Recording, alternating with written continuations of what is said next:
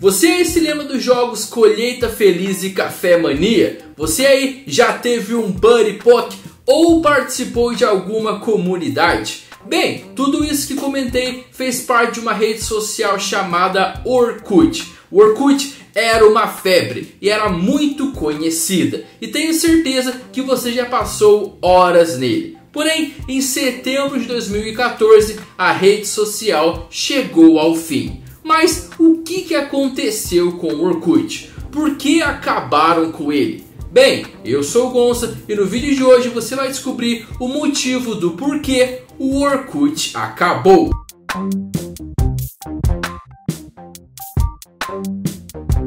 Mas antes de começar o vídeo, quero pedir com muito carinho para você deixar o seu gostei, compartilhar o vídeo e me seguir tanto aqui como nas minhas redes sociais. Agora, sem enrolação, vamos conhecer o motivo do porquê o Orkut acabou. Bem, o Orkut foi criado em 2004, mais especificamente no dia 24 de janeiro de 2004. E uma coisa que acredito que você não sabia e eu fiquei bem surpreso quando descobri foi que o nome Orkut veio do nome do criador da rede social. O Orkut foi criado por Orkut Buyokten. Eu tenho certeza que falei o sobrenome dele errado até mesmo o próprio nome dele. Orkut, o criador, é um engenheiro turco que desenvolveu a rede social como um projeto independente enquanto estudava na Universidade de Stanford. Mais tarde, também desenvolveu a rede social enquanto trabalhava no Google. Bem, o alvo inicial do Orkut, tanto o criador como a rede social, era os Estados Unidos mas a maioria dos usuários foram aqui do Brasil e também da Índia. Dia 5 de abril de 2005, o Orkut ganhou uma versão em português. No Brasil, a rede social teve mais de 30 milhões de usuários. Dia 7 de agosto de 2008, o Google anuncia que o Google Brasil passou a ter controle mundial do Orkut, dividindo a responsabilidade com os indianos mas o Google Brasil teria a palavra final em qualquer mudança ou melhoria no site. Também, segundo o Ibope, os brasileiros na época já chegavam a 40 milhões de cadastros. Ou seja, o Brasil estava no topo do Orkut, tendo tanta moral que estava até comandando a rede social. Bem, o Orkut teve seus momentos de ouro. Foi uma rede social de muito sucesso Porém, todo esse sucesso começou a acabar em meados de outubro de 2011. Isso aconteceu porque naquela época estava surgindo uma rede social e que já naquela época ela já estava ganhando força. Uma rede social que eu acredito que você possa conhecer: o Facebook. Bem, para a tristeza do Orkut, o Facebook não estava vindo sozinho. Twitter também ganhou força e apoio dos usuários. Muitos dos usuários do Orkut nos meses anteriores foram deixando de acessar a rede social. E assim ela foi perdendo espaço no mercado. Bem, no início de 2012, o Orkut foi ultrapassado pelo Facebook, que se tornou a maior rede social no Brasil. Uma pesquisa na época mostrou que o Facebook atraiu 36 milhões de visitantes, superando os 34 milhões registrados pelo Orkut.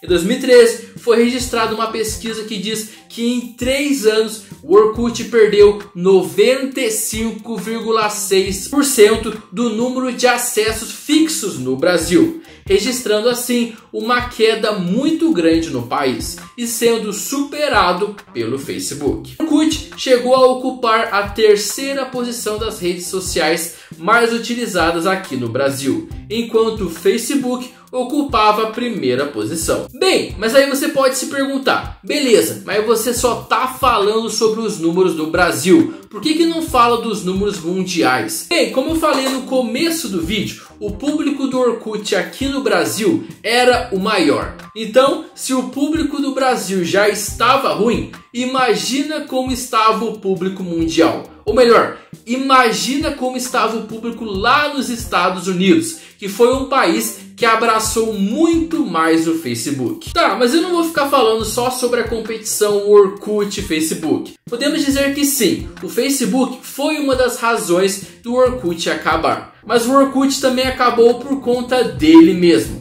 Na verdade, de coisas que aconteceram dentro da rede social. E se eu te contar que naquela época já era comum de se ter fakes. No Orkut existia um grande número de perfis falsos. Esses perfis geralmente se passavam por pessoas famosas ou personagens de filmes, animes, super-heróis ou até mesmo de jogos. E eles de certa forma não eram ilegais. Porém, o problema era quando o perfil era de outra pessoa. E acredite, tinha fake de pessoas vivas e também de pessoas mortas. E quando acontece isso, isso pode se enquadrar como um crime de falsidade ideológica. Orkut também sofreu bastante com problemas de invasão de hackers.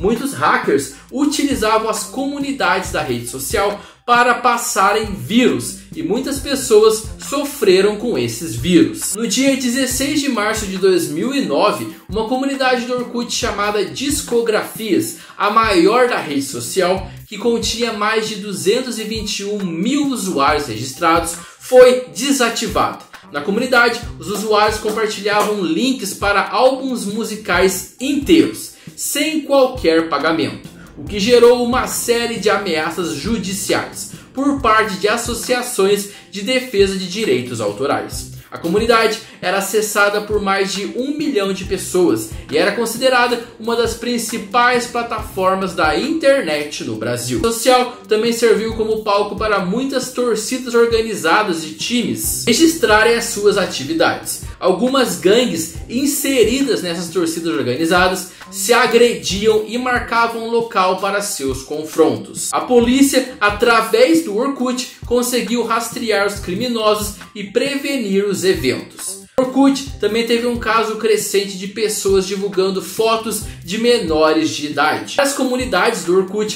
foram observadas por conta de realizarem apologia ao terrorismo. Simpatizantes de terroristas trocavam informações através da rede social.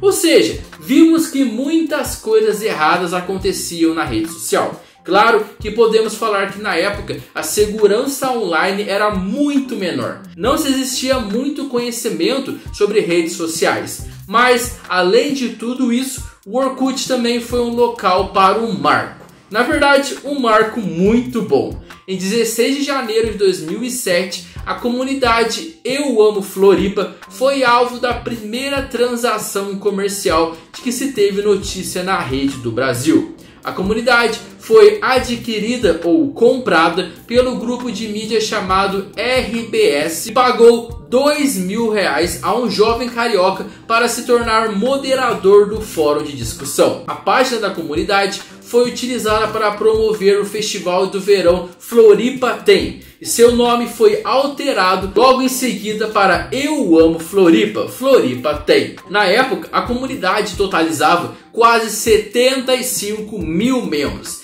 e foi escolhida para a transação por sua maior popularidade entre os usuários comparada a outras com o mesmo tema. Bem, porém, infelizmente, podemos dizer, um comunicado foi publicado no dia 30 de junho de 2014. O Google anunciou que iria descontinuar a rede social a partir do dia 30 de setembro do mesmo ano.